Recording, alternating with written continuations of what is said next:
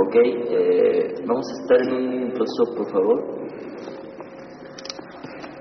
¿Te puedes colocar un poco más central, Gabo, por favor? Sí. Este es el DAT número 47. Hoy es 5 de abril del año 2002 y esta va a ser la representación de los hechos con Rodolfo Escogido. A ver, Rodolfo, este, acá. Ok, esta es eh, la cinta de edad número, qué sé yo. Estamos a punto de rodar la primera entrevista con María Fernanda Ramos. Es hoy día 28 de febrero del año 2001. Este es el DAT 1 del día 16 de mayo, un DAT Tascam de apenas. Entrevista sobre la vida de Alejandro Cotaquiros. ¿Estás listo, sonido? ¿Listas cámaras?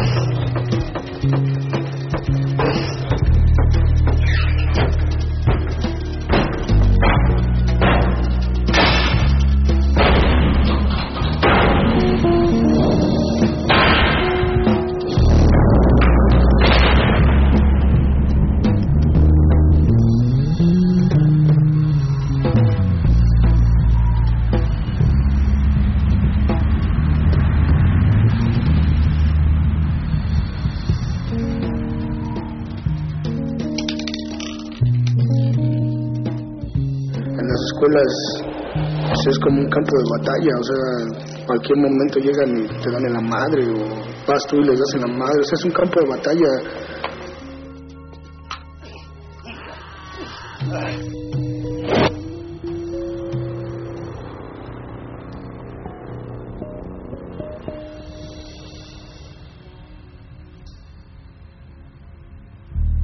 Como que la escuela es tu feudo, tú eres el jefe, si eres el líder y tus soldados, y si vienen de otros enemigos, pues tienes que repeler la agresión. Y hay mucha gente pues le agarra gusto, ¿no? Y mucha gente pues ha acabado pues muerta, ¿no? Cuéntame cómo fue que, que, que- que viste por primera vez un porro en tu vida, digamos. Córtale. mi hermano principalmente me, me contaba cómo era, ¿no? Cómo te obligaban y si no te ibas con ellos te golpeaban. Cómo se golpeaban con los policías, de cómo tenías que ser más fuerte que el más cabrón de la escuela. Eso de porro no me late. Bueno, O sea, yo te puedo decir, este, cómo fue o cómo fue que te interesaste en entrar a la organización. Cuando tengo la oportunidad de ingresar a Ocasional 6, pues la primera vez digo, ay, qué enorme escuela. Y siempre con la duda de, ¿algún día encontraré a los porros? Y desde el primer día pues tengo mi primer encuentro con, con esos cabrones porque a la entrada pues están pidiendo un peso. Entonces pues yo voy y, y, pues no se los doy, ¿no? Me dice, bueno, acá no, pues sabes que no tengo, ¿no? Y me para y no tengo, ¿no? Y pues me le pongo ahora sí que, pues, digo, ¿por qué? Pero pues en eso veo que pues vienen, que no está solo, ¿no? Que hay otros güeyes y ya, pues no tengo, ya veo, ya me deja entrar, ¿no? Y de repente pues estamos en una esplanada y se ve la entrada y pues entra pero un madral de güeyes, ¿no? Como 300, 400. O sea, vienen los borros, pues tú te escondes, ¿no? Pum, pum, todos a encerrarse y llegaron y patean la puerta, que salgan y salen y, y chale, ¿no? Y pues yo bien sacado de onda, ¿no? Y ya que se van, pues se llevaron casi a todos los de la escuela. Está el camión afuera, sales y, hola, ven, ¿qué onda? Súbete, no, pues como crees, súbete. No, pues no quiero. Y en una forma amenazadora, ¿te subes o te subes? No, pues sí. Pues de repente entra uno que tenía muy ubicado, ¿no? Le decían por apodo el Elvis, traía una banda entra a mi salón de dibujo y no, que una rifa y guaguaguá, ¿no? Pues casi era huevo, ¿no? Porque no, entonces yo me, no, no te voy a dar y mis amigos nos ponemos todos, no, pues, no queremos, ¿no? Ya no hay que dejarnos, ¿no? Y llegan como 15 güeyes, que... y me dicen, ven tú, ¿no? Yo qué, ¿no? Me paro, ¿qué, no? Llegan dos de mis cuates conmigo, los otros pues se hacen bien pendejos y se van, ¿no? Y de repente llega el güey, no, que ¿cuál es el de chamarra negra? Y pum, que me descuenta, ¿no? Y digo, pues ¿por qué me pegas, no? Entonces es cuando digo, bueno, estos güeyes dicen que vamos a armar un grupo y, y yo volteo y nomás somos dos, pues nos, nos dieron en la madre, ¿no? Me pegaron, nos quitaron el dinero. Y es cuando mi cuate me dice, no, pues, ¿por qué no te metes al rollo conmigo para que no haya problema? Y pues yo empiezo a considerar la situación porque digo, bueno, si, si no puedes con ellos, pues hay que ver desde adentro qué hay, ¿no? Pues Rodrigo de chiquito, pues era, bueno, para mí era lo mejor, ¿no? Quemaban, ¿qué era? Alcohol con azúcar para que hubiera humidito y estuviera muy calientito. Y en el foco ponían periódico para que no le llegara la luz mucho.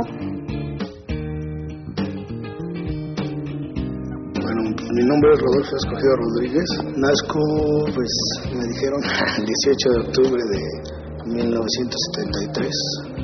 Pues estamos haciendo esta película por yo, aquí en la calle corriente, la guerra sucia del odio no tiene héroes urbanos, solo corruptos y locos.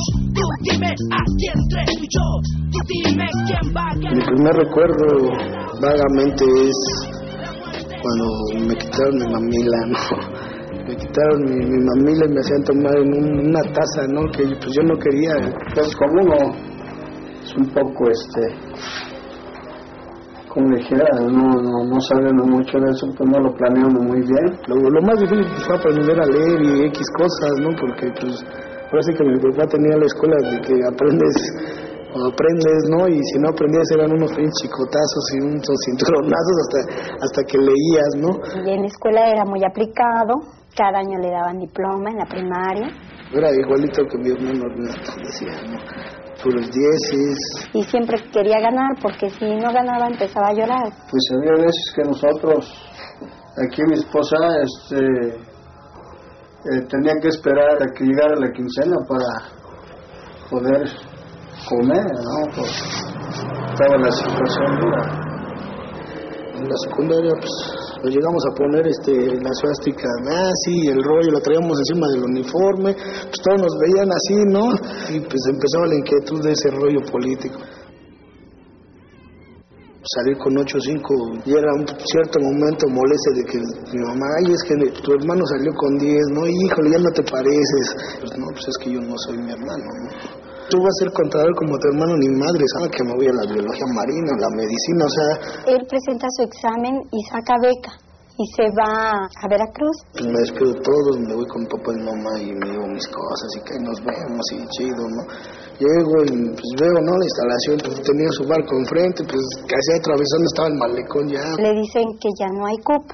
Entonces le dio mucha tristeza, ahí ya no quiso ni quedarse a bañar en Veracruz, ya vámonos ya, pues el camión, vámonos ya para la ciudad, ¿no? Lloró muchísimo, muchísimo. Yo pues todo cabizbajo, ya hasta ni quería salir a la calle, ¿no? Pues dije, no, pues ya me despedí de todos, ya nos vemos. Y, y yo regresar como pinche fracasado, como que no.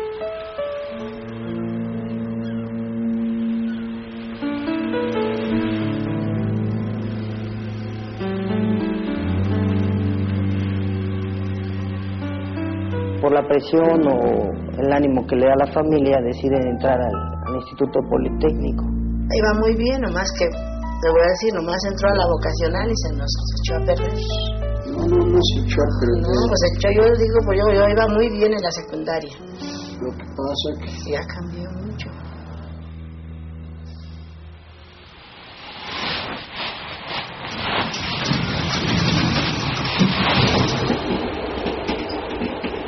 mucho. Toma dos. Este, bueno, me ibas, me ibas a contar cómo fue que te iniciaste. La cuestión era que yo estaba jugando básquet en las canchas, iban todos los, los poros, iban por, por mí, nos bautizan. Eh, tapan la cabeza y me van madreando, ¿no? A cinturonazos en el lomo, va. Te meten a un cuarto. Yo cuando llegué ahí encontré otros tres chavos y entran cada 10 minutos a madrearlos, entran todos y los madrean. Después entro yo y esos güeyes creen que son esos güeyes y están a la defensiva y me ponen una madriza, ¿no? Paz. Digo, no, yo también vengo aquí, ¿quién está aquí? Después calzón chino a las chavas les quitaban el brasier, lo amarraban. Te hacían que te aventabas un tiro con tu amigo, con el que ibas. Vete a robar a alguien y entraban. Ya es porro. El término porro, pues vamos al origen y el porrismo eh, viene de, de lo que eran las porras, ¿no? Todos los grupos empezaron apoyando a los equipos de fútbol, ¿no? Le echabas porras, eh, clásico, poliunam, de americano. De las porras surgieron los enfrentamientos. Existían los grupos de animación, mucho más viejo que las mismas organizaciones FEB o de Después del movimiento del 68, desaparece el único órgano estudiantil juvenil que existía en aquel entonces, que era la FENET. El Consejo General de Huelga la desarticula. La autoridad se dio cuenta de que pues, no había un control real ¿no? de- del estudiantado. Después de la represión del 10 de julio del 71, muchos toman como antecedente a los halcones. Y se crea la Federación de Estudiantes Politécnicos. Ellos siempre fueron acusados de rompehuelgas, de esquiroles. Ellos nacen siendo institucionales, ¿no? Hay una primera fisura en el 77 y se crea la Organización Democrática de Estudiantes Técnicos. La crean eh, con apoyo del Partido Socialista de los Trabajadores y de ahí pues su tendencia antiimperialista. Era un grupo que peleaba por beneficios para los estudiantes. Irónicamente acabó siendo parte del Frente Juvenil Revolucionario del PRI, ¿no? Ese partido pues captó a todo lo que era control y juventud, ¿no? Con el fin expreso de, de evitar esos movimientos como el del 68, ¿no? Tú cuando entras a una vocacional, te dicen, tú eres FEP, tú eres ODET. Y la más cercana, escuela. Si es contraria, contra ellos.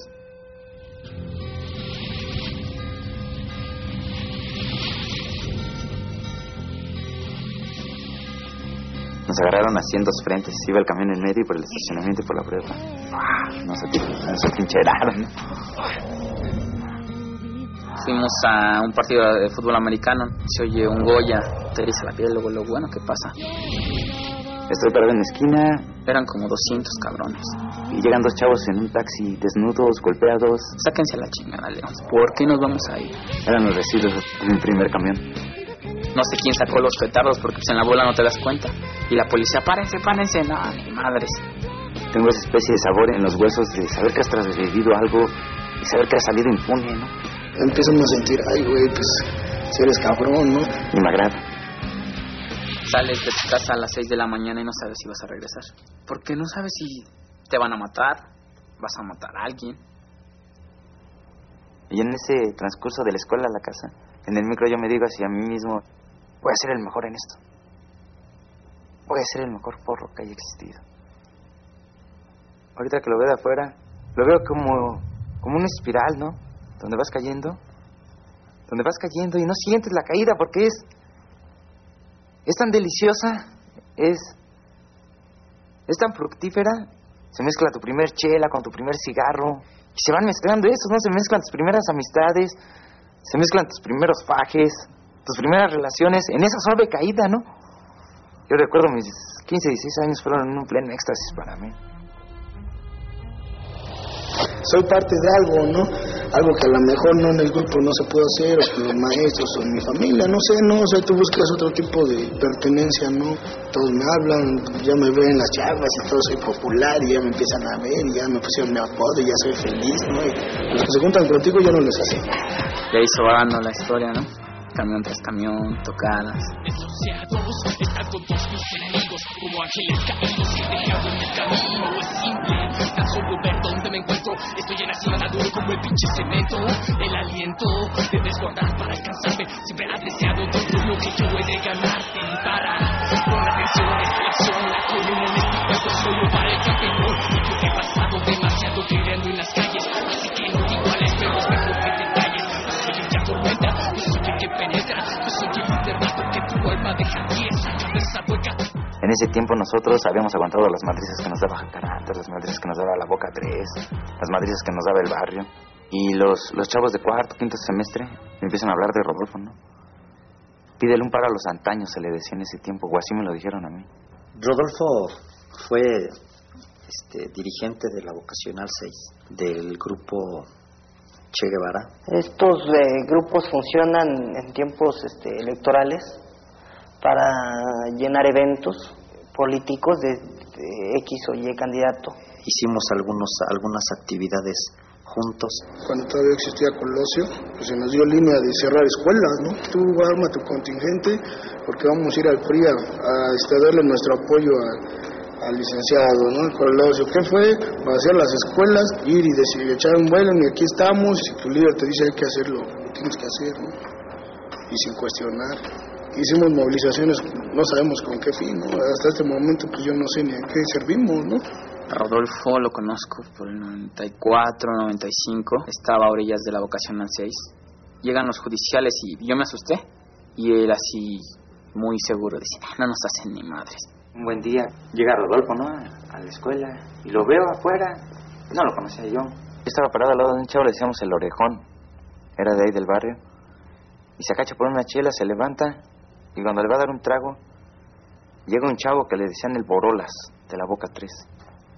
¡Pum! Lo descuenta. Veo la imagen de Rodolfo que llega y le pega un chavo. ¡Pum! Ya estuvo. Y le empieza a pegar a, los chavos de la Boca 3, ¿no? Y güey me dijo, ese fantasma. Y él me habló y me dijo, ¿qué tranza, pam pam? ¿Que tú estás moviendo en la tarde? Me forma un ídolo, ¿no? Un camino que seguir, ¿no? Y ese camino es Rodolfo. Y era mi único aliado, ¿no? En la guerra que yo tenía que pelear posteriormente contra las, las demás escuelas. Antes de que le pegaran a un chavo de tu escuela, tú eras el primero que tenías que ir por delante. Yo sentí eso. A lo mejor muchos no, pero yo lo sentía, ¿no? Rodolfo lo inculcó.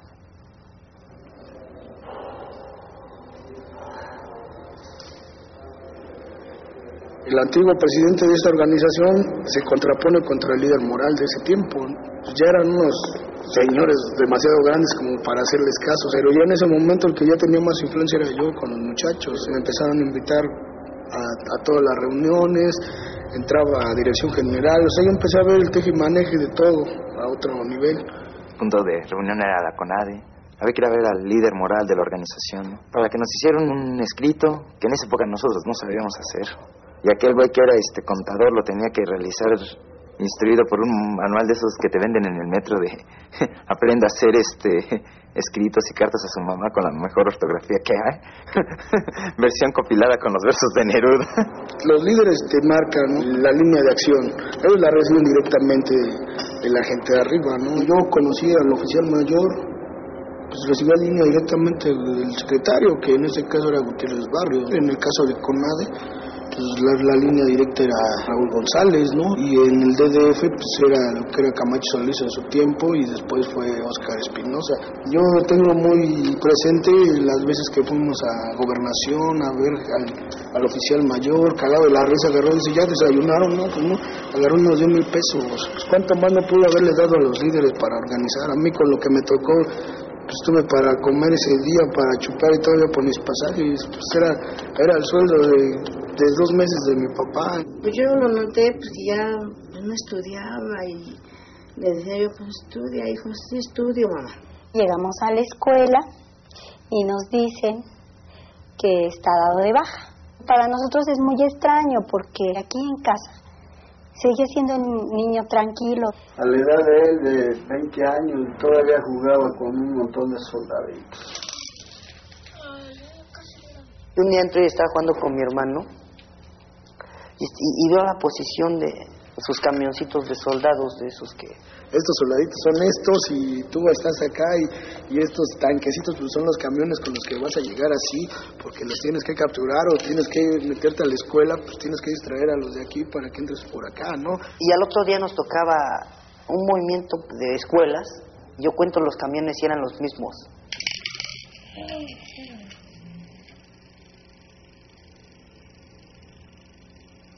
Cambia la administración, se va Oscar Joffre y entra Diodoro Guerra, que viene con una idea más, más pesada, ¿no? Lo golpean aquí. Que ahí lo encontraron en un charco de sangre. En un charco de sangre. Le habían dado eh, con unos bats.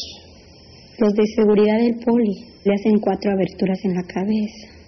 y pasaba mi sobrino y lo vio y lo recogió y me lo trajo aquí enfrente y dice, mire tío, pero sí pensaban que ya lo habían matado. Para mí fue como una declaración de guerra, o sea, dije, si no me dejas en paz, pues a lo que tope, ¿no? Entonces ya la preocupación fue juntar la boca entre las 6 y las 12, que estaban en el mismo sector, que no se tragaban. Pues hay que hacer una tregua, ¿no? No tiene caso que seguirnos desgastando, esa era la palabra mágica. Se empiezan a hacer relaciones, ¿no? Relaciones que no sé en ese momento cómo eran, pero nosotros las denominábamos políticas, ¿no? Entonces, el líder moral yo creo le pareció divertido, no déjenlo que haga su desmadre. Empieza a integrar el bachiller es uno, la boca 6 de la mañana, racadandas con la que se hace una tregua, el CETIS 30. Es ahí como Rodolfo, pues tiene su proyecto, ¿no? Tiene su sueño, ¿no? Rodolfo tenía la ilusión de, de hacer de la UDET una opción donde se hubiese acabado ese monstruo que creó el mismo gobierno llamado porrismo, que impedía que cualquier joven en cualquier institución pública del país levantara la mano y decir yo quiero hacer esto, porque era aplastado por la banda. Él ya quería realmente que fuéramos una fuerza estudiantil. Empieza a ser el pacificador. Entonces el líder moral ya sintió pues, pasos cuando vio que no nada más era mi boca. Y Rodolfo, consentidor, Rodolfo temeroso, Rodolfo complaciente, voltear los ojos hacia lo que supongo yo siempre quiso, la presidencia de la organización. A mí me dijo esta persona, ¿no? Eh, que después fue mi asesor, me dijo, oye, pues si tú ya traes más gente, o sea, traes algo respetable, ¿por qué no convocas a Congreso? Yo no quería asumir el control de la organización porque me daba miedo, ¿por qué? Pues porque había güeyes más locos, ya se dedicaban a robos y acá y traían cuernos de chivo, o sea...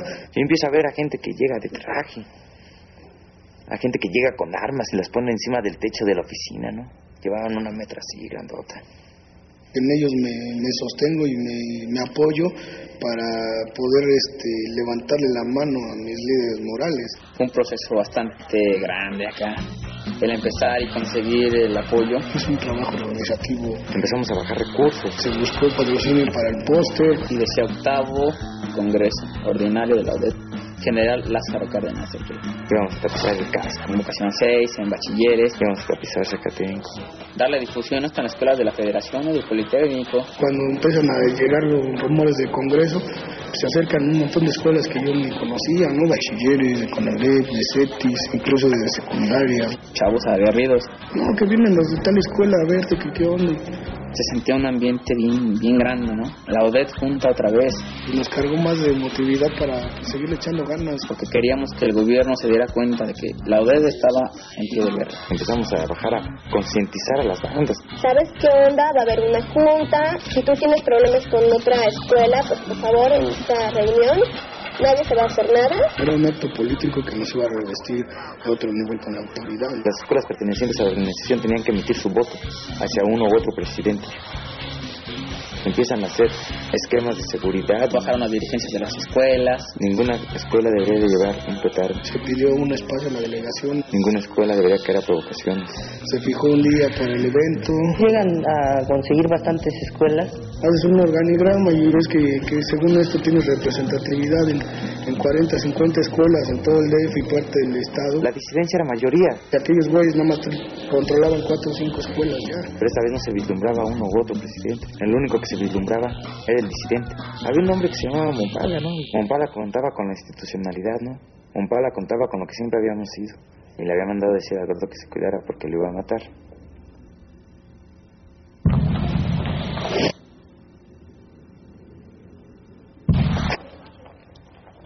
Rodolfo quiso seguir adelante, aventuró todo por su sueño. Su sueño en el que iba implícito el nuestro también. El día fue el 27 de, de noviembre de 1997, en el Foro Cultural de Azcapotzalco. Pues tuve que quitarme la mata, pues yo traía el pelo largo y chamarra de piel, mis camisas del hombre araña, mis botas de casquillo, y pues tuve que ir de traje, ¿no? Y se veían carros raros por mi casa como monitoreando nada más, ¿no? Pero para evitar problemas por mi casa en el jueves pues hay un tianguis en la otra calle. No hay pena, me meto entre el tianguis y no creo que ahí me den en la madre, ¿va?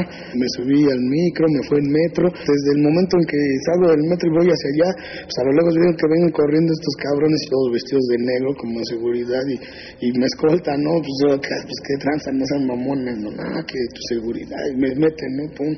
Fuimos a un CETIS que está cerca, subimos a las edecanes, sí, porque pues, no, que...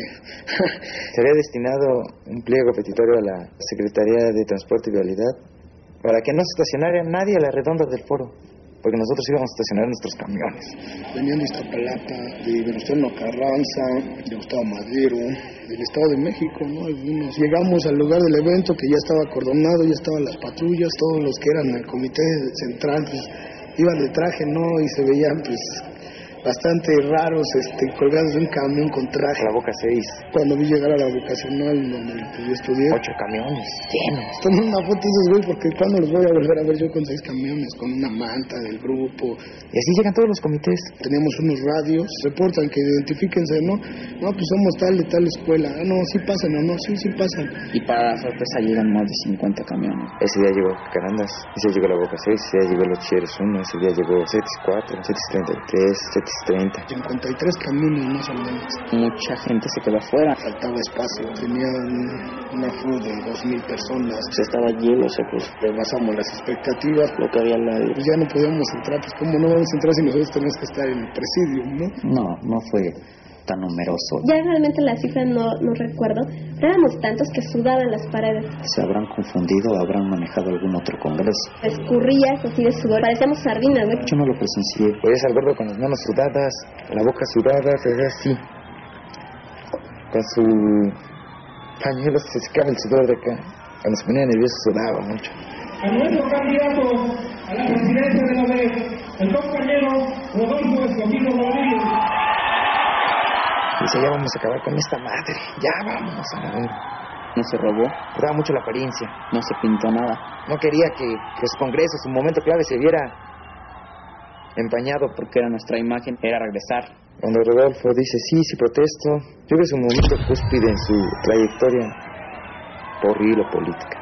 Y yo di este, unas palabras, ¿no? O sea, hablamos de las posibles alianzas, hablamos de, de dejar de, de pelear entre hermanos, entre gente de la misma causa, ¿no? Haciendo ilusión a la FED, a, organizaciones de la UNAM, del POLI, del Mangoleo de la autoridad. Y, Hubo el duelo de vuelo. y al momento en que acabo de hablar, pues digo la frase de, de, mi, de, mi, de mi grupo, ¿no? Le digo, hasta la victoria siempre, ¿no? Cuando le aventan un vuelo en el fantasmón, Pues gritan, ¿no? Los de mi, escuela. Y, privilegio. te sientes bien, ¿no? O sea, es poder, fuerza.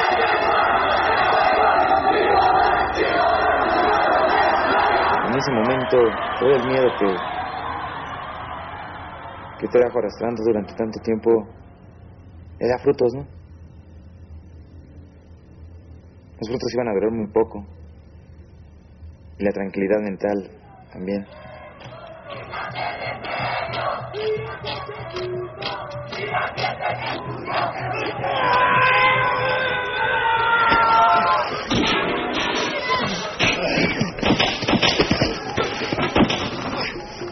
Inmediatamente en la tarde pues entramos en choque, ¿no? Y seguridad politécnica, llega en combis, llega en bochos, aventando petardos, aventando extinguidores, aventando balazos. Lo más triste o lo más irónico es que a nuestro evento convocamos a todo, a todos los medios de comunicación, nadie se paró, ¿no? Jacaranda, los chavos le voltean un micro, casi se le están quemando, desbandada. Arriba del circuito pues estaban como tres este, cámaras de televisión. Lo que les interesaba era vamos a ver qué hacen, a ver a quién matan, a ver qué roban, ¿no? Ahí él se da cuenta, a ciencia cierta, que el Congreso no iba a marcar la diferencia. Seguíamos trayendo atrás el estigma de todo el relajo, todo, el- todo lo malo que hizo la organización antes. Él empieza a, a perder este el control cuando se intenta competir por posiciones dentro del partido. Ni la ODED ni la FEP este, juntas, combinadas, eh, peleando la presidencia del Frente Juvenil Revolucionario, pues pudimos, ¿no? Más bien, pues no nos dejaron, ¿no? Llegamos nosotros con alrededor de 2.000 gentes para la elección y nosotros perdemos. Entonces es que no podemos perder porque nosotros somos más. Siempre fuimos los que llenamos eventos, siempre fuimos los que le trabajamos a otros y el día que pedimos algo para nosotros, pues se nos fue negado, ¿no? Él decide salir de, de ese partido y buscar en otros lados, ¿no? La policía sabía dónde íbamos, aún antes de salir. Nos habíamos ido con alrededor de 70 u 80 escuelas, casi con la totalidad de la organización. Él me había platicado que gobernación le había hablado que le iba a dar un portafolio lleno de billetes y él no lo aceptó. Entonces él dijo que no vendía su, su organización. Todavía era un, un personaje todavía existente por ahí, el que era el secretario, ¿no? Hubo ofrecimiento de portafolio lleno, de billetes, ¿no? Vete a dar una vuelta unos dos años y después regresas. Francisco Labastida era el secretario en ese entonces. Empiezan las envidias. Que si le diste mayor beneficio a Vocacional 6, que si le diste más lugar a CETIS 30, que por qué entraste a tal reunión y no me llevaste a mí. ¿Por qué no quieres que me entere? ¿Porque están dando dinero? A la autoridad ahorita es lo que le conviene, dividir, dividir. Que en cada escuela haya cinco grupos y que se estén matando. Por nada, por, un, por una mentalidad de que ellos son mis enemigos. Mandé oficios y renuncié a la organización, ¿no? Porque pues ya no la podía sostener, o sea, ya no tenía la representatividad, ya no tenía la fuerza. Se acercan al, al CGH de, del CCH Azcapotzalco. Estaba esto lo de la huelga y sabíamos que si privatizaban la universidad, pues había la posibilidad que esto se diera en el Politécnico. Nos dijeron, si realmente quieren participar, pongan una, una urna de consulta en cada una de sus escuelas. ¿no? Y había un lugar donde no se podía ir. Y ese lugar era la Boca 6. Para mí mi vocacional pues era mi feudo, ¿no? Como te manejo, ¿no? Era, era mío. Fue el hecho de, de, de regresar y decir, pues aquí estoy y, y, no me he ido, ¿no? Y sigo siendo yo y, y pues pasó lo que tenía que pasar, ¿no? Grandes detalles. Yo sentía que, que, en este lugar pues iba a pasar algo, o sea, siempre hubo un presentimiento de, de que algo no iba a estar bien. Entonces llegó un chavo y me dijo, ¿sabes qué es esto? Son como 50. Se dejó venir la agresión. Matando las vías, estaban atacando con, con petardos y. Los chavos empiezan a correr, junto a mí, no me hacen nada sobre de ellos. Y en cuestión de segundos, pues llega la, la policía. No, pues solo te digo, pero pues bajo qué cargo, ¿no? Y en eso, pues agarran uno de los chavos que me agredió y lo ponen contra la patrulla, ¿no? Y empiezan a decir, no, ¿por qué corres acá? Él me quería robar. Y, y, y después, ¿de qué nos robamos, no? Soltó un codazo uno de los chavos. Vienes por robo. Pues ya nos llevan rumbo a la delegación. Dice, no sabes que si a, a ti ya te están esperando.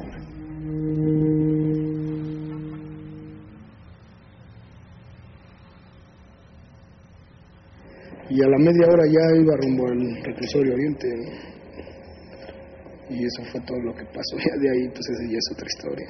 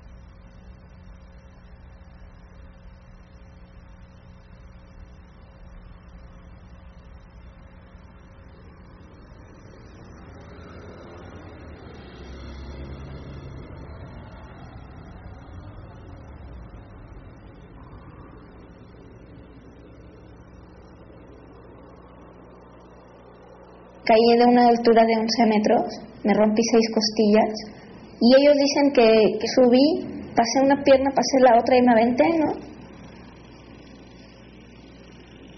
Realmente no te puedo decir cómo estuvo porque no, no, no me acuerdo.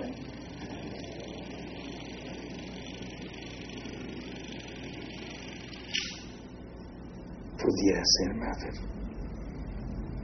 que aparezca otro de esos recuerdos de los que habíamos hablado esos recuerdos que tienen muchas emociones. Simplemente toma esa posición de observadora que has venido teniendo y por favor continúa observando, recordando.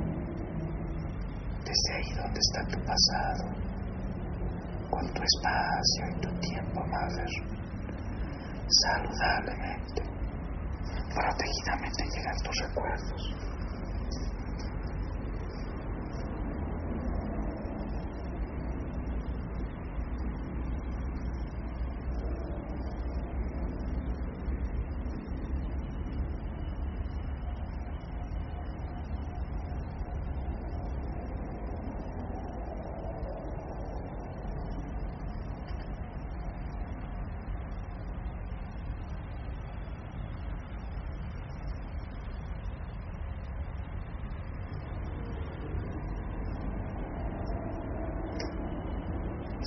Sientes?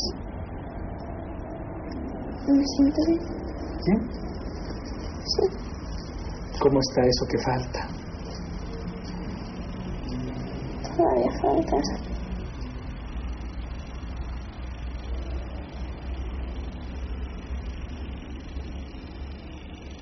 Hay mucha gente que llega y me dice, puta, tú eres bien fuerte, ¿no?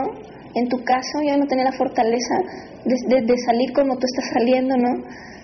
Y pues ni modo que me, de que me muera en vida, ¿no? O sea, tengo que seguir viviendo, güey, ¿no?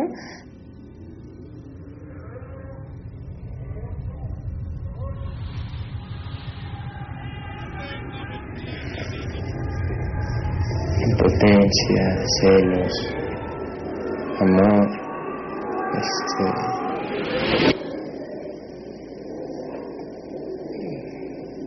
todo, ¿no? No sé, una vez quedamos en, en que si alguna vez nos queríamos suicidar lo íbamos a hacer juntos. Y pues, si me lo hubiese dicho yo, yo lo hubiese hecho junto con ella, ¿no? Y ella nunca me dijo nada, ¿no? Ni, Entonces, pues se fueron dando así las cosas hasta que ya nos separamos, ¿no? Y este.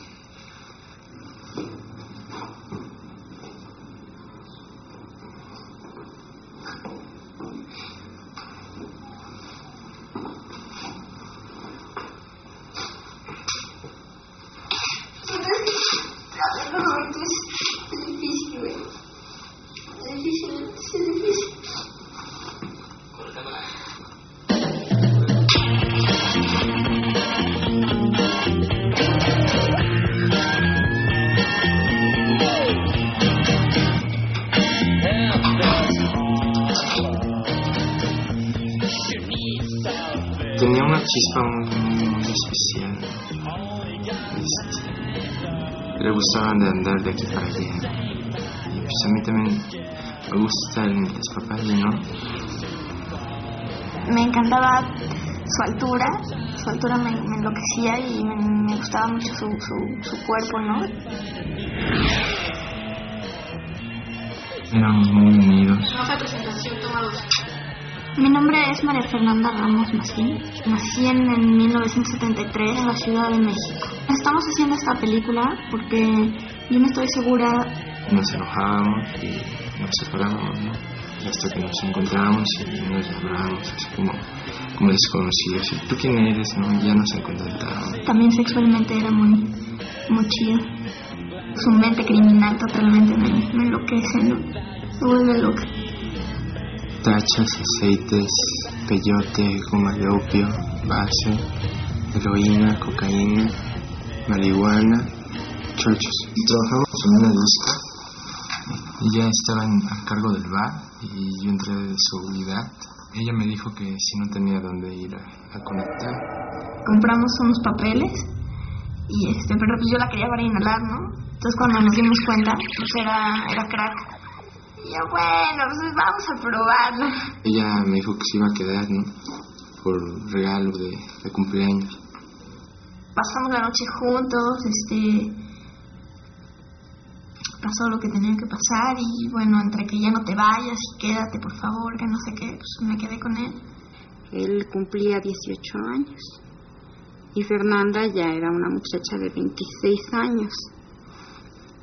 Y ella me dijo que si no me oponía yo, le dije que yo no.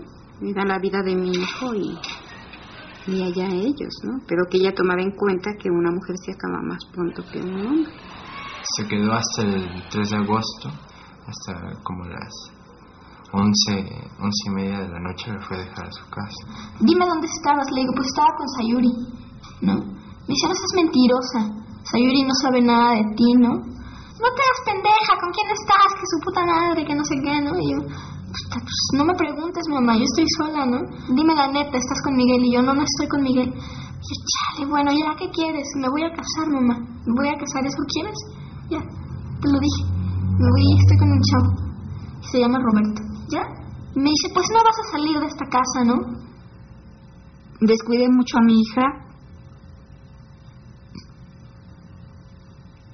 por trabajar.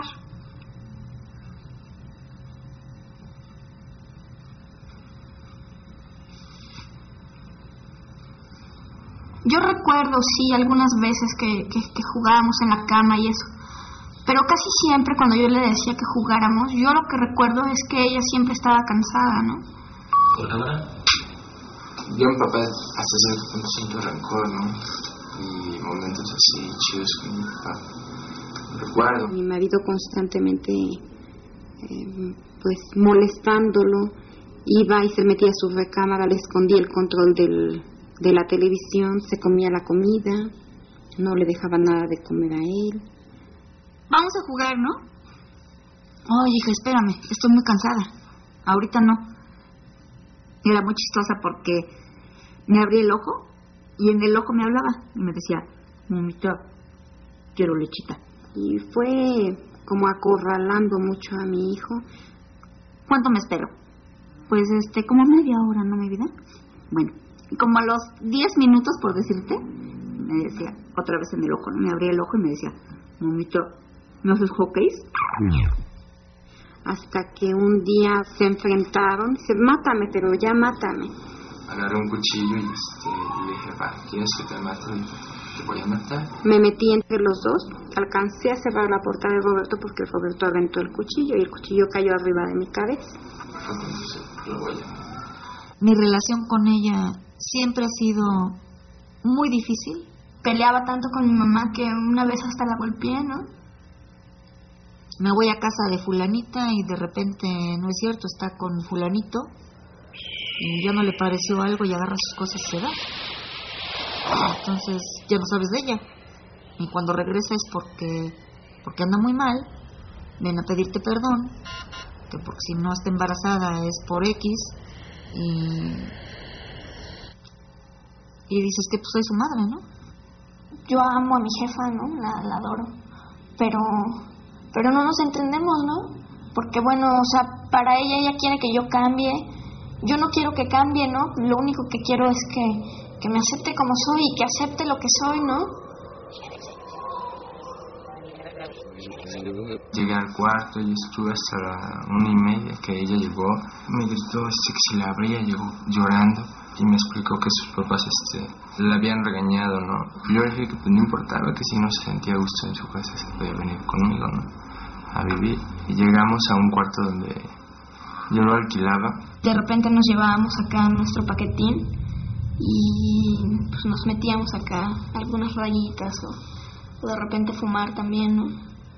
Ganaron dinero y ahí tuvieron para comprar droga. Nosotros empezamos a vender cocaína y bueno, de repente pues separamos lo que era para vender y nos empezamos a meter lo que sobraba. Hasta que me vinieron a decir aquí que se drogaban mucho y que un día lo- les daba miedo que los llegaran a encontrar muertos en ese cuarto. Entonces les propuse a ellos venirse para acá, porque yo aquí iba a estar más al pendiente de ellos y no les iba a permitir que se drogaran aquí en mi casa. Pues de repente empezamos a, tomar de más, ¿no? Ya lo que correspondía para venta nos empezamos a meter, ¿no? Pasamos toda la noche fumando y pues inhalando igual. Y al otro día en la mañana, pues ese güey ya se quería jetear, ¿no? Pero pues yo todavía traía pila, ¿no? Yo todavía quería un poco más.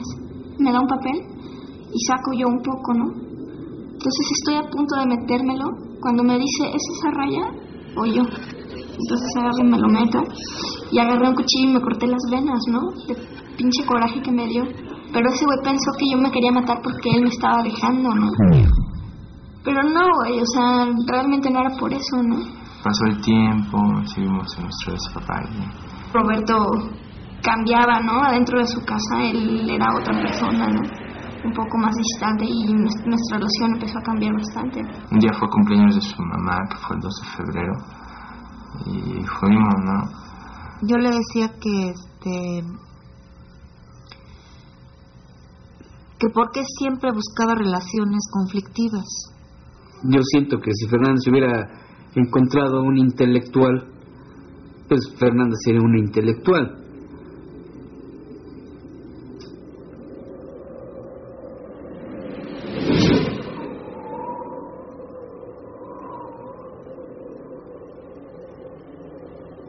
Mi recuerdo es cuando estaba chavita y estoy viendo la, la de mi casa y pasan así muchísimas lagartijas, ya sabes, así chiquitas, grandotas.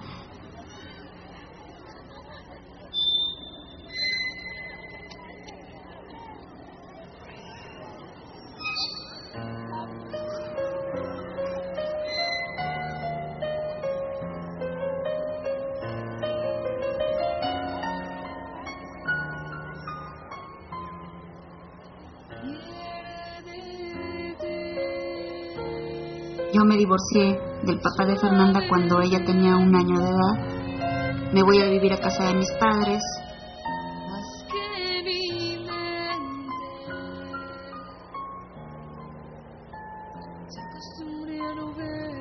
Ellos me dan el techo, pero yo tuve que trabajar para mi hija.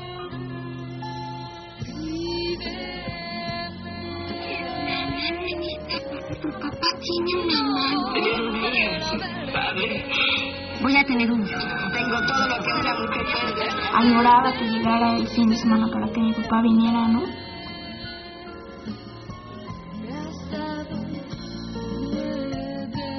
Viví con mis abuelitos hasta que tuve 10 años que mi mamá fue que se volvió a casar. Yo quiero tener un papá quiero tener una familia.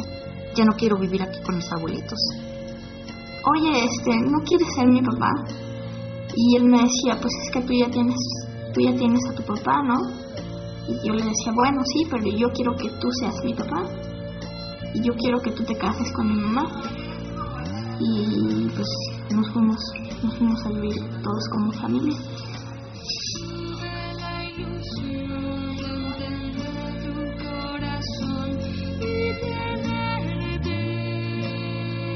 Yo pasaba mi vida observándome en el espejo, veía caricaturas, telenovelas y cosas así, ¿no? Entonces cuentan que una vez veníamos en el coche y empecé, ay, ay, ay, ay, me duele mucho, me duele, me duele, me duele, ¿no? Entonces acá mi abuelito se para espantadísimo, ¿qué te pasa? ¿Qué tienes, no? Y yo, es que voy a tener un hijo, ¿no? Era una niña muy alegre, era una niña muy extrovertida. en cuarto de primaria, en una plática con compañeros, este, yo les estoy diciendo que yo ya había hecho el amor, ¿no? Porque yo pensaba que ya lo había hecho, ¿no? Como desde los seis años hasta los nueve o diez años, con diferentes personas, este, pues no sé, tocaban mi cuerpo, ¿no? De hecho, hubo alguien que hasta sexo oral me hacía, ¿no? Yo no lo, lo, lo dije nunca, ¿no? Siempre me lo callé. Para mí, pues, eh, eh, es, es- eso que estaba viviendo era algo normal. Yo pensé que, que todos lo vivían, ¿no? Pero me corrieron, me corrieron de la escuela. Al llegar su adolescencia, ella dijo, pues, me quiero independizar. Nunca se le dejó. Cuando tenía 14 años fue que tuve mi primera relación sexual. Yo me embarazo y mi madre me explica que no puedo tener a mi hijo por el mismo tratamiento que yo estuve llevando para la epilepsia y que era peligroso que lo tuviera, entonces que, que, que lo abortara y lo, lo, lo aborté.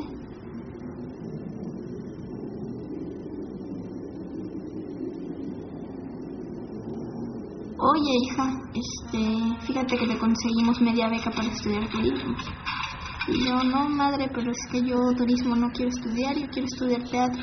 Mis papás se van a vivir a Cancún con mi hermano yo me quedo a vivir aquí en México con mi padre.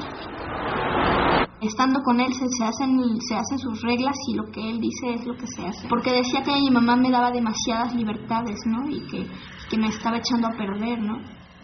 Nos fuimos a vivir a Cancún y ya llegó unos meses después.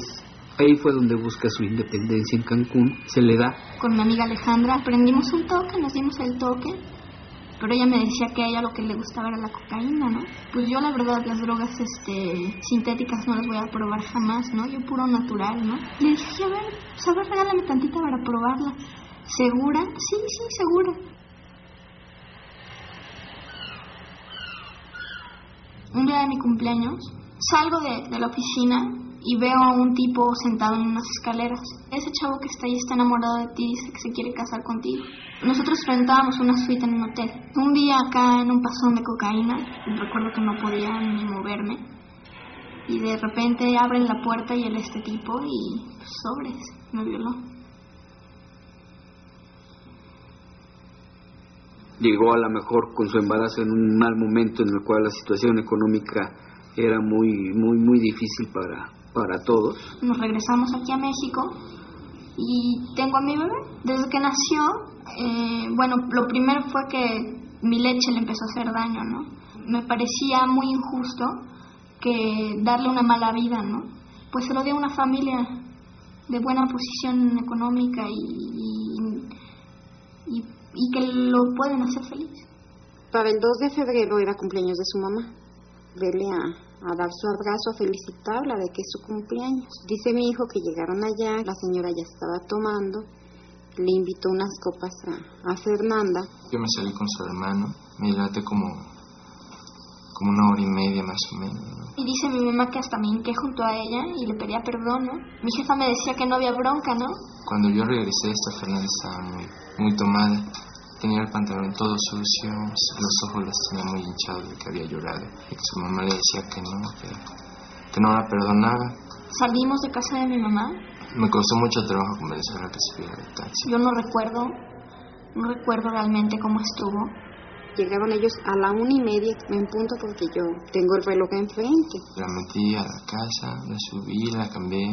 Me dijo, Roberto, es que viene tomada Fernanda. Le digo, bueno, ya acuéstense a dormir, no hagan ruido para que no despierten a tu papá.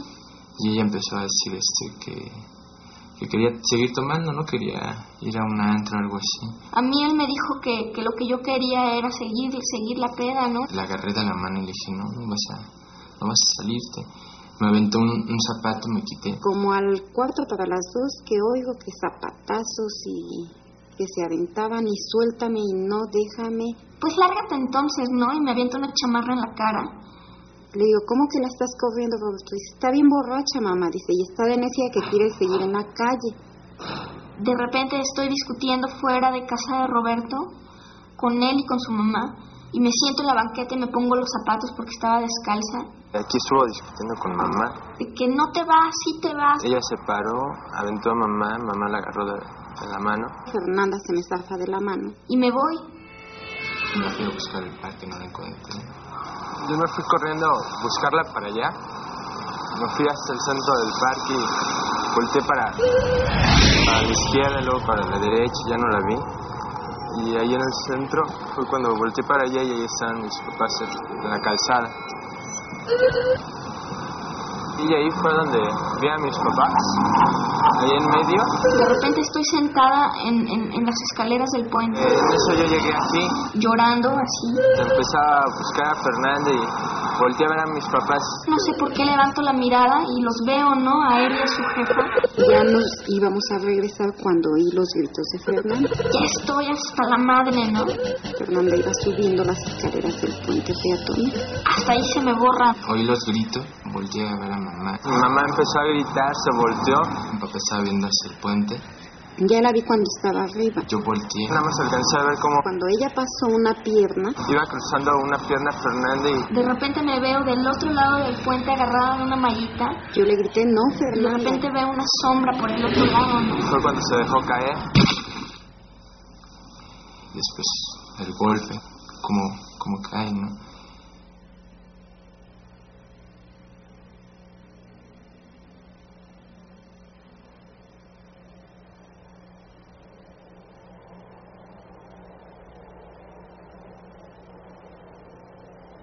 Cuando me dan la noticia, de cuenta que yo estoy así acostada y volteo a ver el techo y digo, ay, sí, qué gran tragedia, ¿no?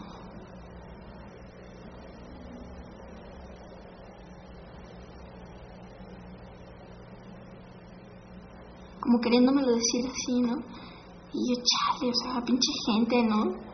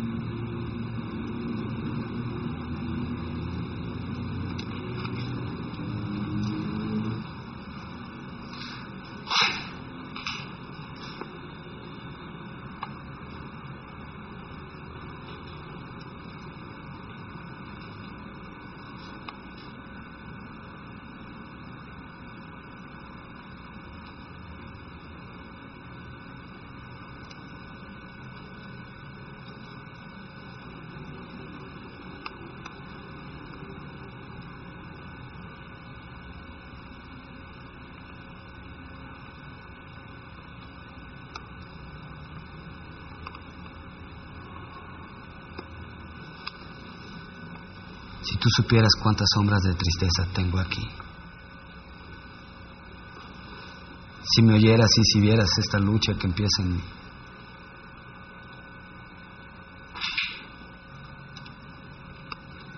Yo no estaría tan solo envuelto en este olvido.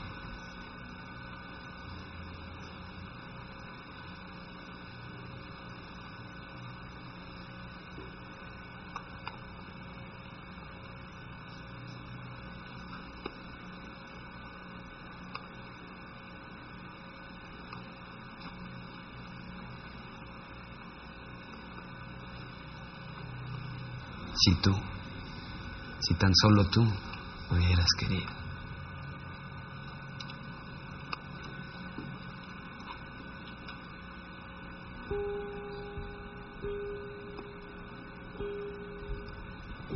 Madre, de tus hijos, el que menos tu cariño merecía soy quizás.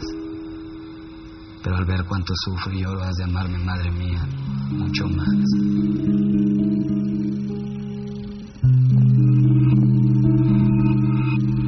¿Quieres oír algo?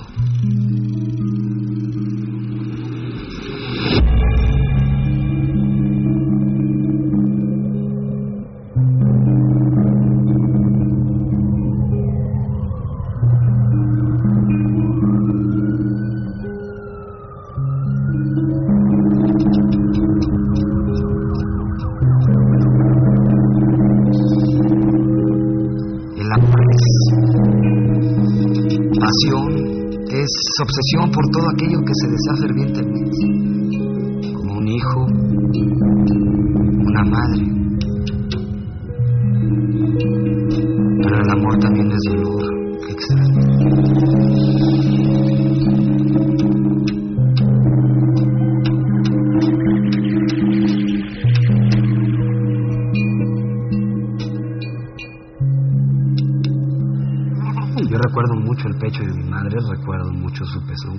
dando de comer, ¿no? Cuando me estaba amamantando, ¿no? Se sentía pues todo el cariño, ¿no? Toda la ternura que te puede... Es algo muy indescriptible. Profesor Benet, a ver, dame, dame el límite para tomarlo atrás. Puede estar aquí dentro. No, cámara. Acción. Acción. Así el 19 de agosto de 1967. Mi padre era el ingeniero mecánico Humberto Cota García y la secretaria bilingüe Lidia Elizabeth Quiroz Granados. Ellos eran mis padres. Para mí mi papá era así como que mi héroe, ¿no? Pero tiene una enfermedad que desgraciadamente está acabando con muchas cosas, que era el alcoholismo. Era su vida, ¿no? Estar tomando alcohol, ¿no? Como esponja y...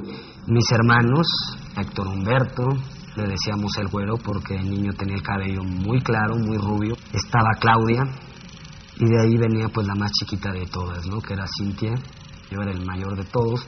Al llegar a ser primero en una casa, pues tienen muchas ventajas, ¿no? Toda la atención pues era hacia mí, eres el niño bonito, ¿no? Cuando nace Héctor pues sí me siento un poco desplazado porque pues por la cuestión de, de que ya no estás bien, o sea, ya, ya llega otra persona al cual le dicen, ay, qué bonito, ay, qué tierno, ay, qué lindo, ¿no? Está marcando esa madre, ya se acabó, está en pausa, está grabando. Estoy grabando. Mi madre, pues, una mujer muy sumisa, muy abnegada, a su marido, eh, era de las que salían a las 2 de la mañana a conseguir la botella. En ese tiempo, mi padre, dentro de sus borracheras, llegó un día y llegó con el rostro sangrado, llegó con la cabeza abierta por, por los fracasos que se dio en las escaleras. Mi mamá se desesperó y se suelta llorando. En ese momento mi padre se para y saca un arma, saca una escuadra calibre 22 Tú, hijo de tal por cual, ¿por qué abrazas a mi esposa que te voy a matar? Pues, ¿Qué te pasa, no? Soy tu hijo, mano, tranquilo. Pues que tu padre te amenace con una pistola y te la ponga en... Es algo que lastima, pero de una forma tremenda, ¿no? Pero sabes que una madre, una de dos, o se va y lo me voy yo, no hay más. Lo recluimos en una granja de rehabilitación para alcohólicos anónimos. Quiso regresar a mi casa, ¿no? no se puede, no puedes entrar tú aquí. ¿no? Se le habla a mi familia que mi papá se quería meter a la casa, llegaron unos tíos y pues se fue para siempre, podríamos decirlo. Y ahí pues un problema que se puede decir que es la piedra angular de, del por qué tú estás aquí conmigo platicando ahorita. ¿no?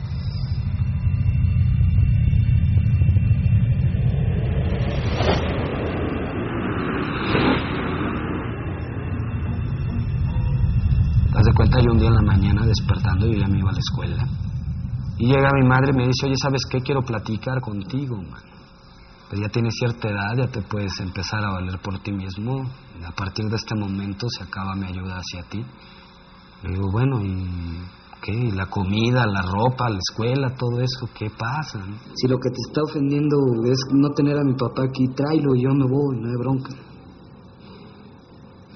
A mí no me da pena decírtelo ni decírselo a la gente que va a escuchar esto. Vendí jabones, un jabón, una pasta de dientes y un cepillo de dientes en una bolsa amarrados y tiéndete de casa en casa. Me robaron de lleno mi infancia, me la quitaron, me la arrebataron así. Los 10 de mayo fueron muy difíciles para mí porque pues yo sabía que ya tenía que hacer manteles y cosas de esas que te ponen a hacer no para mi mamá, sino para la sirvienta o para otra persona, nunca para mi mamá. Alejandro nunca supo que yo me fui a vivir a Chihuahua. Yo pensé que, que al irme a otra ciudad yo olvidaba todo.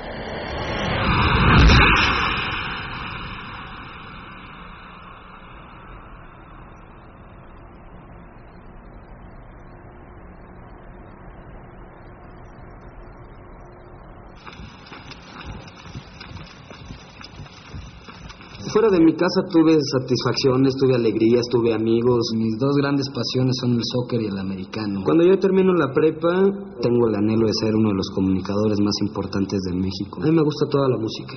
Clásica, me gusta mucho la música de Mozart, me gusta mucho la música de Verdi, me gusta mucho la música de Tchaikovsky. La sonora santanera, ¿no? Es... ¡Eh, la Ok, ¿estamos listos? Pues a nivel intrafamiliar, todos mis logros y todos mis triunfos nunca tuvieron nada. Tengo compartir una mesa con el presidente de la República, ¿no? Si había algo así, pues me tenía que, que tragar mi triunfo yo solo, ¿no? ¿Quién era? En ese tiempo, si mal no recuerdo, estaba estaba este señor, ¿cómo se llamaba? López, López Portillo, perdón. Héctor y Claudia, pues apoyaban mucho a mi mamá, ¿no? Apoyaban mucho el hecho de decir, sí, sí, quítate, sabes que estamos platicando con mi mamá, no nos quites el tiempo, ¿no?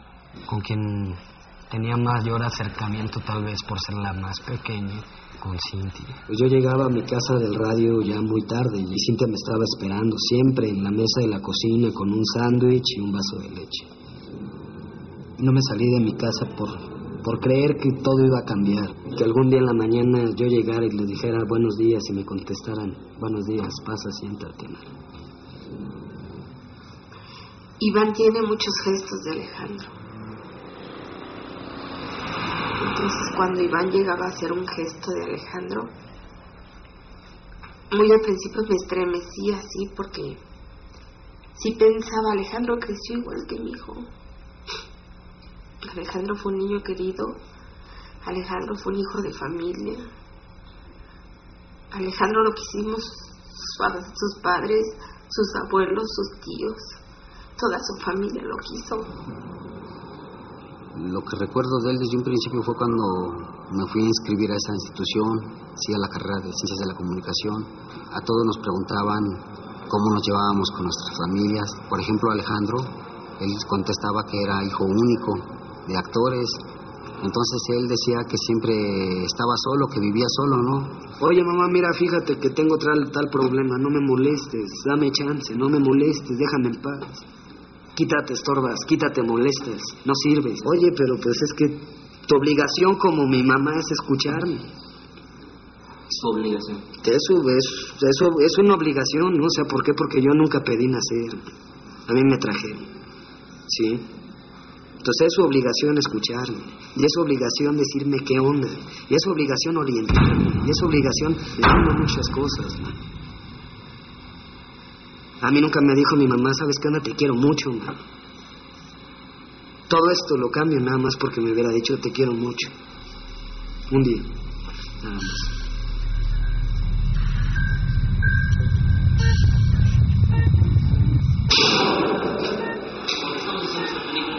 14 de febrero de 1992 amanecieron en, en la cajuela de un automóvil cuatro, cuatro cadáveres una ocasión me peleé con un muchacho.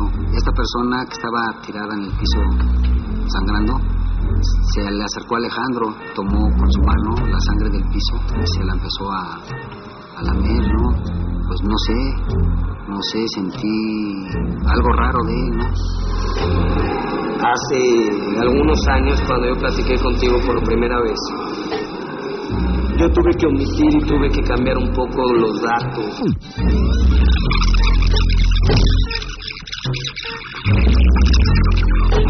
Nací en el 67, nací en el 73. Y una vez pasada yo te dije que yo era el mayor de mis hermanos. Eso no es cierto, yo soy el tercero. Primero era mi hermano Héctor, el segundo era mi hermana Claudia, después sigo yo, después seguía Cinti.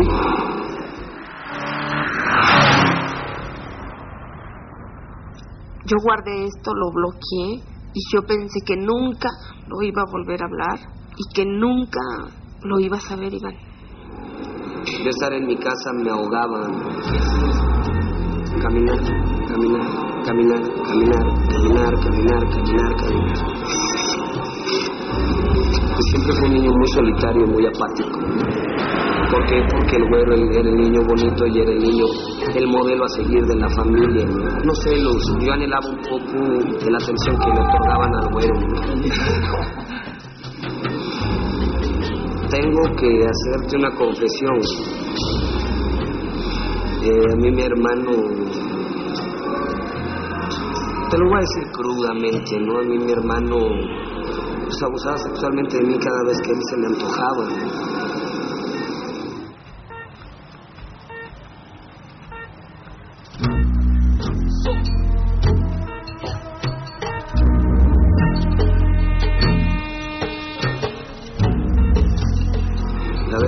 quise hablar con mi madre y contarle esto, terminaron odiándome a muerte, que quería afectar a mi hermano, que me odiaba y que no quería saber nada de mí.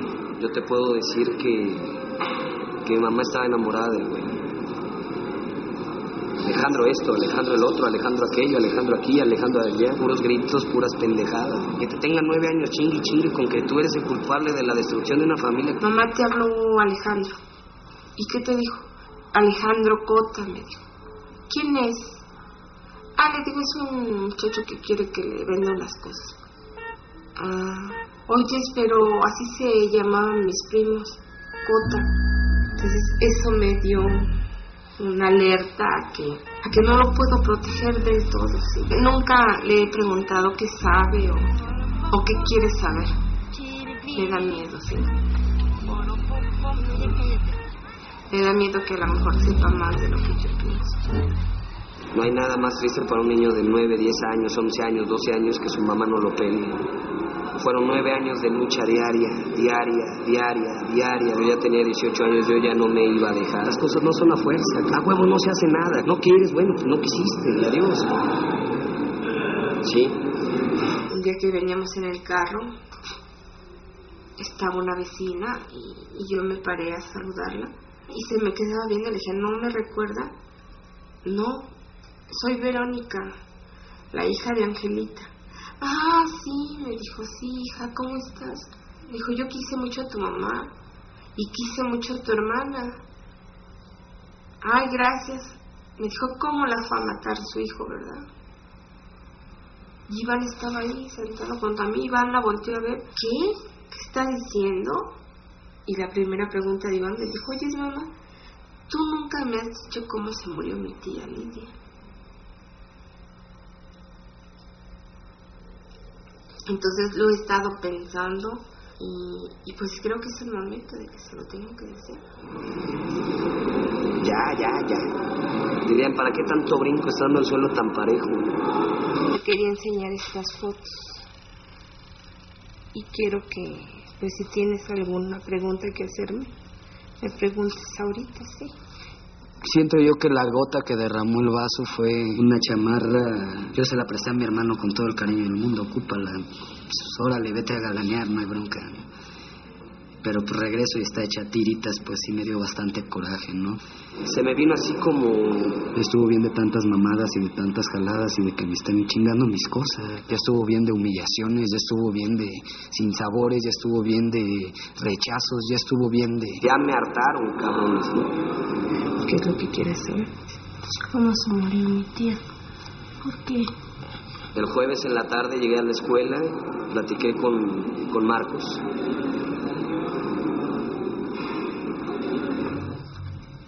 Se murieron porque entraron a su casa cuatro personas.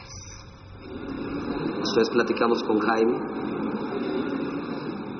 Jaime era un compañero también del salón. Desde la puerta lo llamó Alejandro. ¿no? Se quedó con él un, unos 10, 15 minutos y él me dijo que le había pedido un, un paro, ¿no? Un favor. Pues no sé, ya nos regresaron los dos, ¿no? ¿Y mi primo Alejandro se murió? No, tu primo Alejandro no está muerto. ¿Y dónde está? Tu primo Alejandro está en la cárcel. ¿Por qué? Porque... Ellos estuvieron de acuerdo. Les propuse eliminar una familia, no les dije que iba a ser la mía. Entre toda la gente que entró a, a matarlos, estaba tu primo Alejandro. Yo quería que tú lo supieras por mí, no que lo sepas por otra gente. Pero ¿y cómo saben que fue él? Para esto, pues bueno, Enrique había tenido problemas con Claudia y yo le digo que tengo ahí dos amigos que nos pueden ayudar en esto. Enrique era un inquilino de que tenía mi hermana. Llega Enrique por medio de una tía, era amiga de mi tía Verónica, amigo, perdón. Mi tía Verónica, pues bueno, siempre siempre fue una persona así como que muy oscura, muy interesada siempre. Y había regresado ocho días antes a, a la fiesta de Cintia.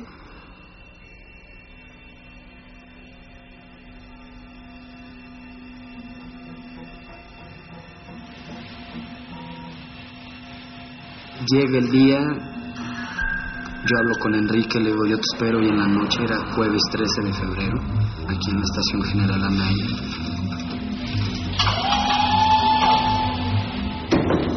Nos encaminamos hacia una farmacia que está enfrente. Vamos a comprar unos guantes para no dejar huellas.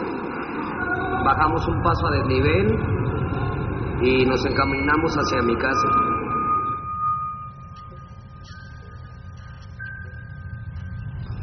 Llegamos eh, a la casa.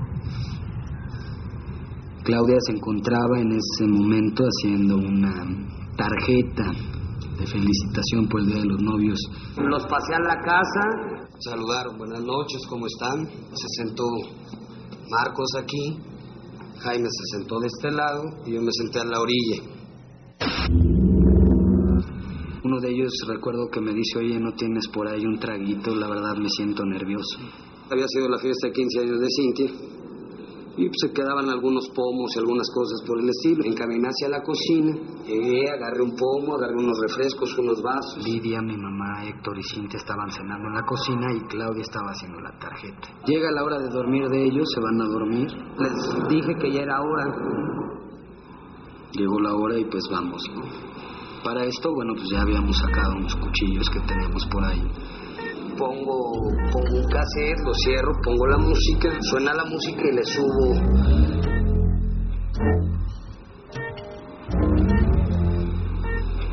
Vamos sobre de Claudia.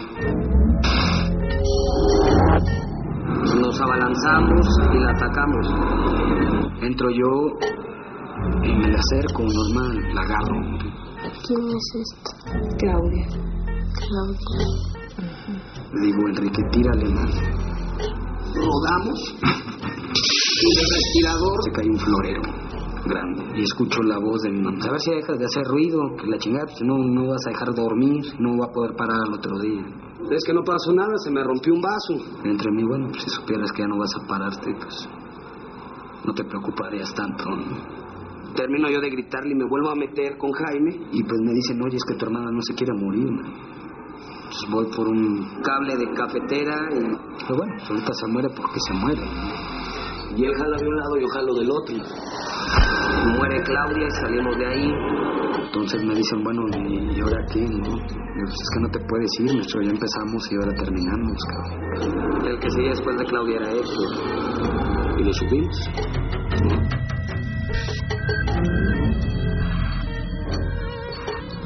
En esta parte de aquí estaba el baño. En esta parte de aquí se queda Marcos con una botella. Lo meto al baño y le digo, mira, si sale ahorita alguien de ahí, un botellazo, ¿no? Jaime con un cuchillo, yo con otro, yo traigo uno de los que les llaman cebolleros y traigo la llave perico. Entramos, nos abalanzamos sobre de él, Marcos y yo, y pues le suelto el primer trancazo a mi hermano. Héctor se levanta, nos empuja, le caemos encima. Alex, ayúdame, ya se metieron. Sin saber que yo era el que le estaba dando. Cada trancazo que yo daba, haz de cuenta que sentía así como alivio, mano. Era tanto mi coraje con Héctor que le di 67 golpes en la cabeza. Mi mamá sale, cuando sale, pum, la reciben de un botellazo. Yo salgo del cuarto, ¿qué está pasando? Y la jalo. Yo no sé, no sé en qué problema se metió el güero que le están pegando. ¿Por qué los trajiste? A mí me interceptaron entrando a- ahorita. Sería como si azotaras a mi hermano en la pared, ¿no? Agarro a Cintia, le paramos a mi mamá de Cintia. Espérame aquí, no te vayas a mover. Entonces llega el momento de mi mamá. Hiciste Jalo, jalo a mi mamá, la acuesto. ¿Estás seguro de lo que vas a hacer? Bastante seguro.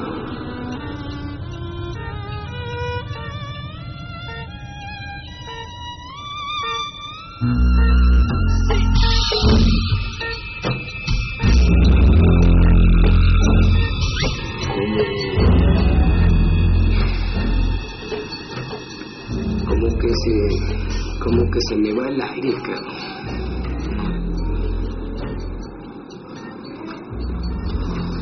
Salgo de la recámara, me encuentro aquí a Jaime y le digo, ¿sabes qué? Es que Cintia no va a morir. A Cintia no. Pues ya nos vio, cabrón. ¿Y tú no te acuerdas de Cintia? Tú jugabas mucho con Cintia cuando eras chiquito. No, no me acuerdo de ella.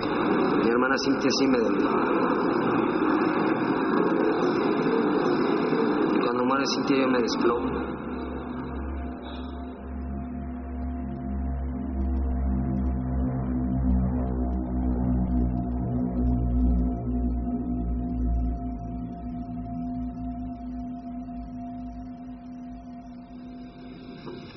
Y aquí estás tú. Él es Alejandro. Él es Alejandro. Yo no te había querido contar porque es muy triste. Sí.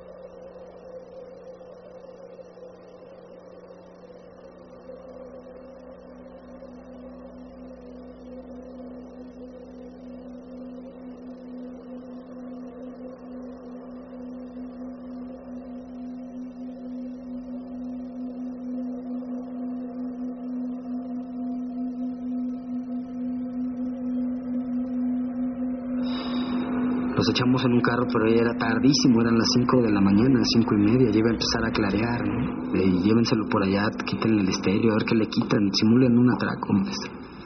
Desde que salí yo empecé a sentir una, una sensación extraña.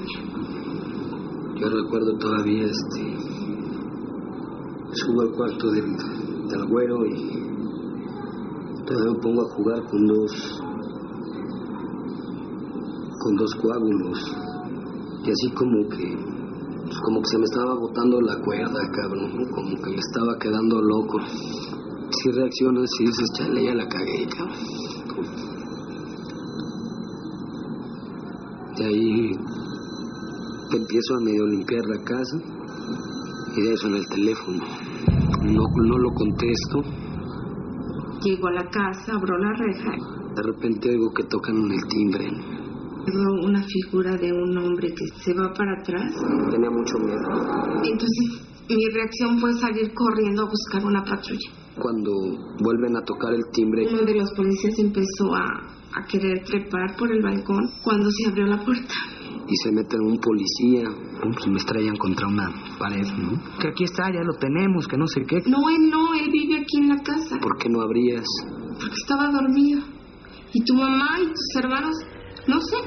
Yo acabo de llegar, yo, yo no sé ni qué onda. ¿no? Cuando empiezo a ir helicópteros, empiezo a ir patrullas, y empieza a entrar gente a la casa y dice, ¿qué pasa? Entonces entra ya un de la agencia del ministerio, Y dijo, necesito hablar con ustedes, pero hay un problema.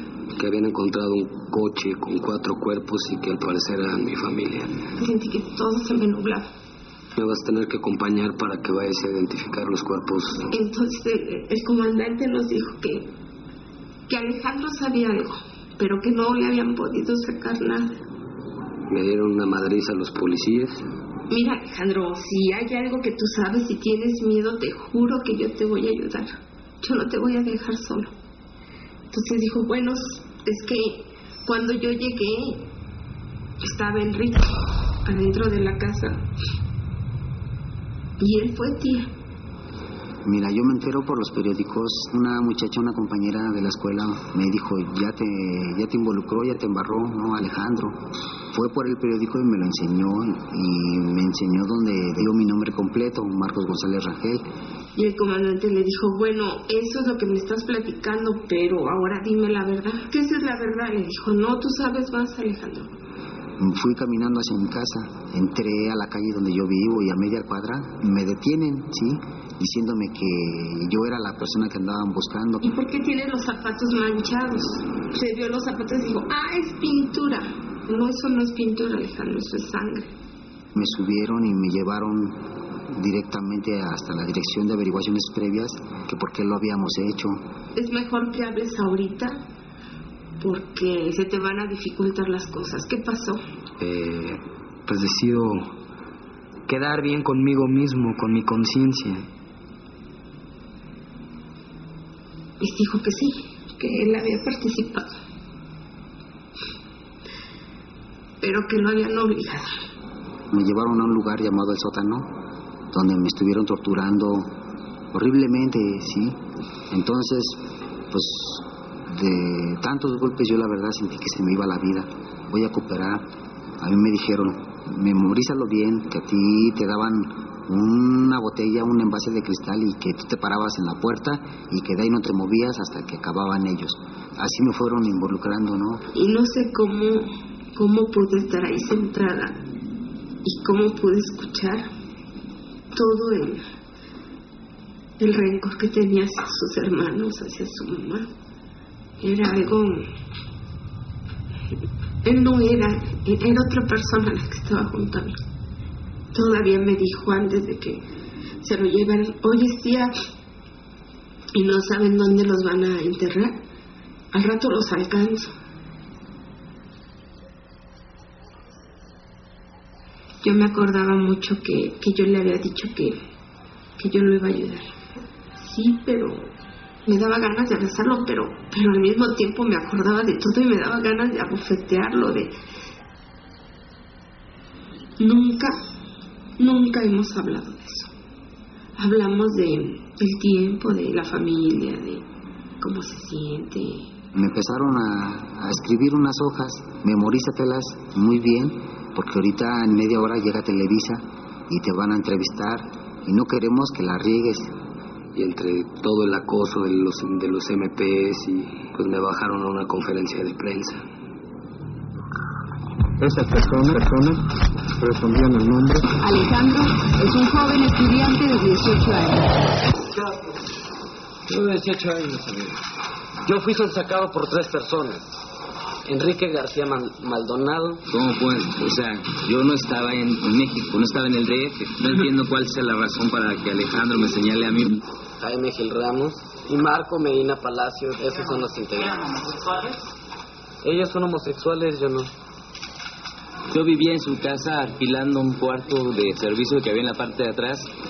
Pues me confundí a la hora de, de la conferencia y volteo a preguntarle al procurador, ¿no? Qué era lo que seguía. Se dirigió hacia su cocina, sacando tres cuchillos, entregándole uno a Enrique Medina, perdón, Él vio cuando Alejandro repartía los puñales, con que después recargarían el hecho. Vio a quién se los entregó, manifiesta a los señores. Sí, y apagaron las luces, las cámaras y me empezaron a golpear allí mismo frente de toda la, prensa. Pedí disculpas, este, volví a comenzar desde un principio. ¿Cuánto tiempo lo planearon? Mm, buena pregunta, ¿no? Eh, mira, como te vuelvo a repetir, yo no yo no fui el que el que planeó esto, sino que a mí me sonsacaron. ¿Habían tomado alguna droga? Ninguna. Yo no tomo drogas. ¿Luego qué pasó? Y Enrique le insertaba de puñaladas en el cuerpo. ¿Qué más? No, yo no maté a Claudia. ¿Quién mató? ¿Tus compañeros? Mira, prácticamente yo te puedo decir que de esa familia yo no maté a nadie. Más que nada yo ayudé. Pues fue una fama muy efímera. En aquellos momentos me brindaron un poquito de atención. Pues imagínate si tú estás al borde de la muerte hasta tú te defiendes. Sí, pero... Yo nada más participé en el de Héctor. Oye, ¿por qué no querías a Héctor? ¿Por qué no quería a Héctor? Al contrario, lo quería más de lo que lo quería más de lo que ustedes piensan. Y me van a preguntar, ¿y por qué lo hiciste? Se movieron muchos intereses. Esos intereses no los voy a revelar aquí. Tal vez quien, quien quiera acercarse a mí ya en, muy, en, otro, en otro aspecto. Separaron hasta las mujeres que a mí me maquillaron. Bravo, te felicitamos. Ahora que llegues al reclusorio te vamos a sacar pronto, ¿no? En dos meses. ¿Cómo? Pues, ¿Cómo me van a mandar hasta allá, no? Si yo no he hecho nada. ¿Estás arrepentido de todo esto? Estoy arrepentido. Mm, sí, se puede decir que sí. Muchas gracias. Muchas gracias, buenas noches.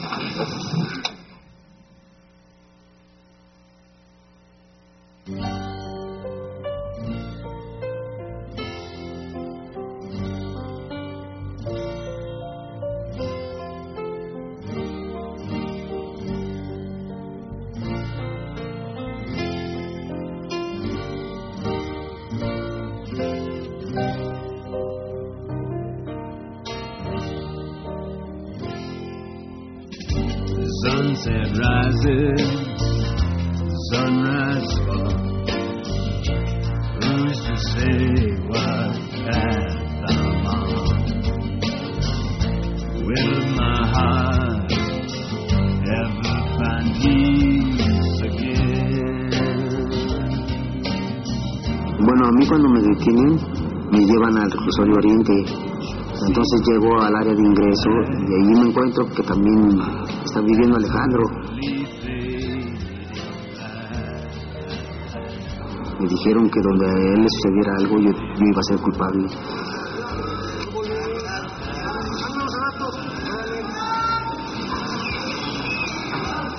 Como al medio año nos pasan al módulo, sí, nos meten a vivir juntos, me pasaban puntas y me decían, mátalo, es tu borrega de causa, es tu chiva de causa, sabemos que él es el que te trajo, mátalo, ¿no? Dale para abajo.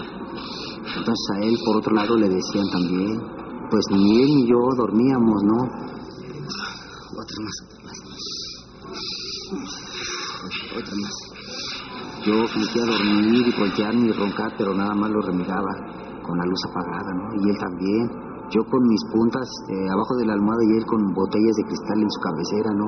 Un día le pregunté que por qué, por qué me habían involucrado a mí, ¿no? Que yo qué le había hecho. Y él sin contestarme nada agarró y sacó un guacal debajo de su camarote y sacó una alarma, ¿no?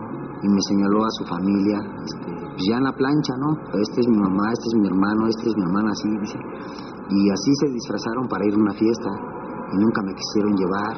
Y me contestaba de esas formas, ¿no? Lo dejé así, dije, pues el coraje que yo tengo yo lo voy a sacar, ¿no? Pero nunca hubo la oportunidad hasta que me cambiaron de estancia y eso fue lo que también me ha ayudado a, a detenerme y a verle menos la cara para no sentir tanto coraje cada día. ¿no? Enrique, Enrique, sí te puedo decir que fue una gente que estuvo aquí sin deber nada. Se me ocurrió, ¿por? Porque vivía conmigo. Antes que nada, pues siento yo que pedir una disculpa por no permitir que él muriera con, su gente, con sus familiares. Si este Jaime estuviera, yo sé, siento que tendría que decir la verdad si tuviera él que ver. Si me está escuchando y me está viendo, que le deseo que hasta en donde esté, que siempre le vaya bien.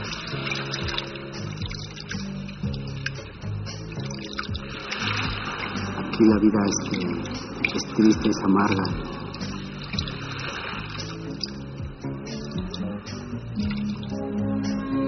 Es un logro llegar a tu cama, dormirte, y es un logro despertarte en la mañana, y es un logro estar vivo cada hora en este penal, ¿no?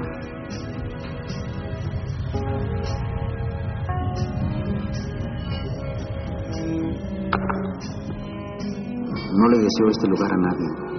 Yo siento que este lugar no deberían de existir. Deberían de haber otras formas para corregirnos.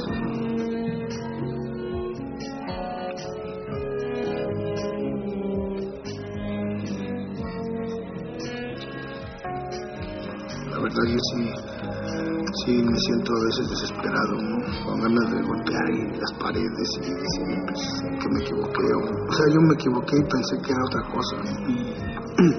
y el parteaguas que quisimos hacer, pues de, a fin de cuentas todo el pasado y toda la organización, todo toda la podredumbre nos alcanzó y nos, nos acabó.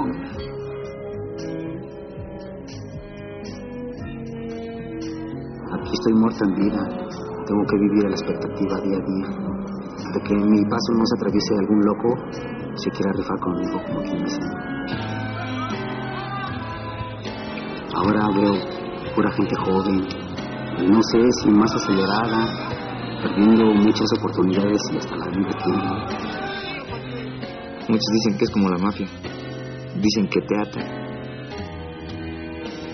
Realmente la banda no te ata, ni es como la mafia. Lo único que pasa es que si tú te sales, no tienes a dónde salirte. Desgraciadamente no hay un mundo afuera. Nuestro mundo era la banda. Nuestros amigos era la banda. Nuestras viejas era la banda.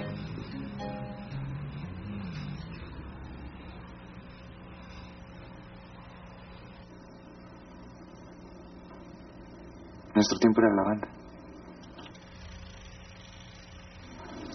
A mí me da la noticia de que ya no puedo volver a caminar.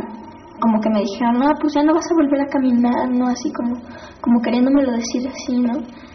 Y yo, chale, o sea, la pinche gente, ¿no? Yo lo vi así como, pues no hay pedo, ¿no? Yo sé que ahorita vamos a apagar estos focos. Yo ahorita me voy a parar y me voy a ir a mi celda. Y aquí voy a estar un buen rato todavía. Tengo que seguir viviendo, güey, ¿no? Y ni modo que me, de que me muera en vida, ¿no? Pero de que no me gusta estar así es definitivo, ¿no? Yo neta me quiero parar y quiero, quiero ser la que era, ¿no? Yo quiero mi vida, güey, la que yo tenía, güey. Estas sentencias de 50 años pesan, pesan estarlos recordando, ¿no?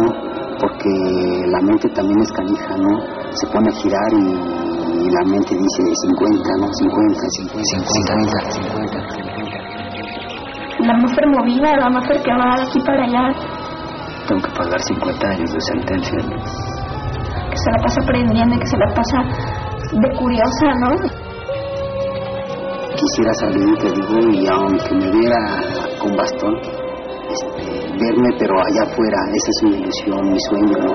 ¿Quién quita y a lo mejor cuando pasen, ya te gusta 100 años, aparezca por ahí tirado un rollo que lo vuelvan a ver y salga, salga tu servidor otra vez platicándoles eso? Porque tengo la esperanza de volver algún día al lado de toda mi familia, ¿no? Voy a pasar la historia, Antonito. Yo sé, yo sé, yo sé que lo puedo hacer, ¿no? Yo sé que puedo llevar una vida bien chida así, ¿no? Pero no es la vida que yo quiero tener. No me interesa así, así no me interesa.